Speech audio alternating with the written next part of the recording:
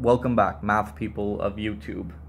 Today I present to you this ridiculously awesome integral. I mean, just look at this thing. This is awesome. We have the integral from 0 to 2 pi of zeta 1 plus e to the i theta d theta, where zeta is, of course, the Riemann zeta function. So this thing looks awesome. The solution development is extremely satisfying. It is beautiful, and the final result is almost too good to be true.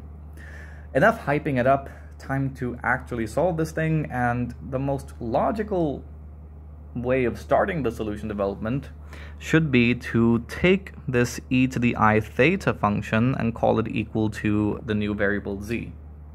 So on differentiating, we have i times e to the i theta d theta equal to dz, and this implies that d theta equals dz divided by i times e to the i theta, but wait, e to the i theta is our z variable, so we have d theta transforming into dz divided by i times z, which is pretty cool. But what about the limits of integration? Well, if you if you take a look at this equation, the equation relating z to the theta variable, we see that theta is the argument of the z variable. And theta is bound between 0 and 2 pi, which means that the argument of our z variable is bound between 0 and 2 pi. So we've gone from integrating over a line segment from 0 to 2 pi to integrating over a circular path, which is awesome. Now, what exactly is the radius of that circle? We have e to the i theta equal to z. So taking absolute values, we find that the radius here should be equal to 1. Okay, cool.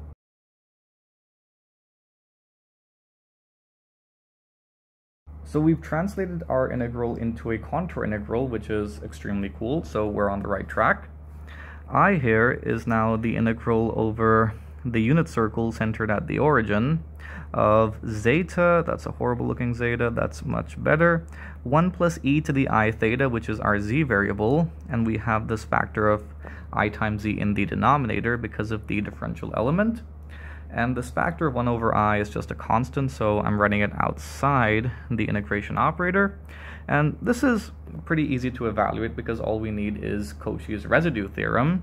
So the integral over the closed contour equals 2 pi i times the sum of the residues of our function that is terribly sorry about that. The zetas are only getting worse, not better. Oh, that's much better. Zeta 1 plus z divided by z. And to answer the question of where exactly are the residues and which ones are enclosed by our contour, we need the Laurent series expansion for the zeta function, which I should probably prove in a future video. So yeah, that's one more thing added to my to-do list. We have a pretty cool looking Laurent series, and that's zeta 1 plus z equal to 1 over z plus the sum over k from 0 to infinity of negative 1 to the k times these constants that are called Stieltjes constants, gamma sub k, times z to the k divided by k factorial. And of course we need to expand this by 1 over z.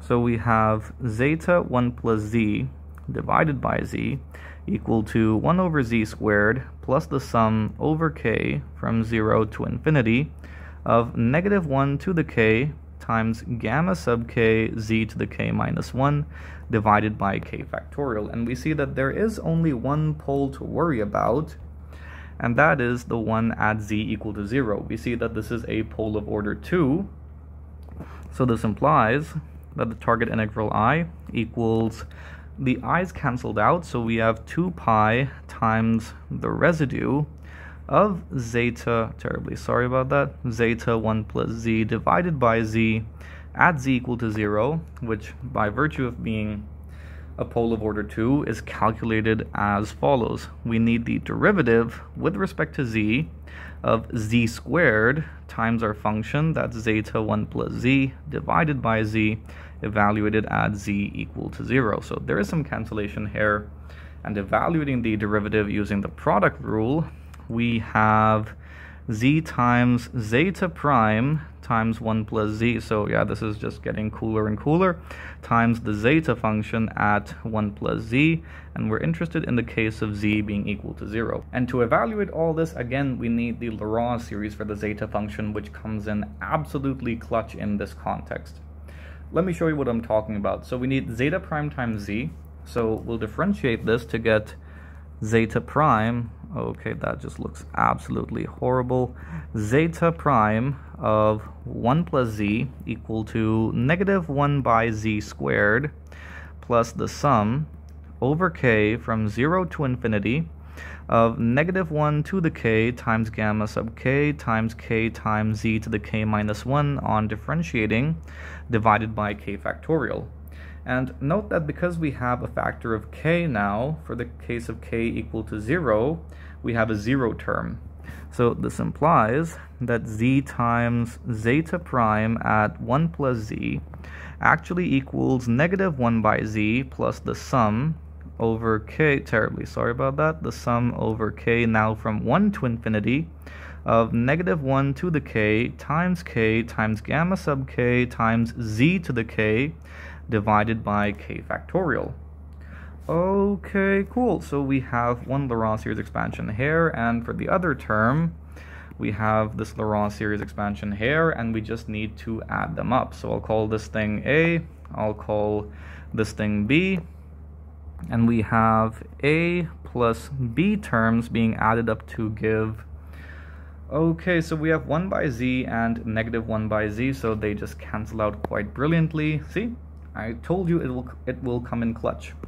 So that means we're left with the sum over k from 1 to infinity of negative 1 to the k times k times gamma sub k z to the k divided by k factorial plus the sum over k from 0 to infinity of negative 1 to the k times gamma sub k z to the k divided by k factorial.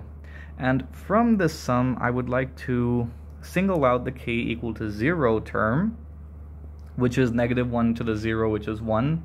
Gamma sub 0 is the Euler-Mascheroni constant. Gamma sub 0 equals Euler-Mascheroni constant. That is a very, very cool statement in itself, gamma sub 0. And we have z to the 0, again being equal to 1, divided by 0 factorial, which is 1. So this looks absolutely awesome and we're interested in the limiting case of z going to 0 so the limit as z approaches 0 of zeta 1 plus z plus zeta time uh, plus z times zeta prime of 1 plus z equals the Euler-Mascheroni constant. This is absolutely beautiful. And now for the integral. Ladies, gentlemen, children of all ages, wizards, hobbits, elves, dwarves, and even balrogs. The integral from 0 to 2 pi, terribly sorry about that, much better. The integral from 0 to 2 pi of zeta, can't I get a proper zeta. Okay, that looks pretty good. Zeta of 1 plus e to the i theta d theta equals 2 pi times the Euler-Mascheroni constant. This is one of the most beautiful results I've derived here on the channel. This is awesome. I hope you enjoyed the video. Be sure to like and subscribe. I hope you learned something from the video. Thank you. See you next time.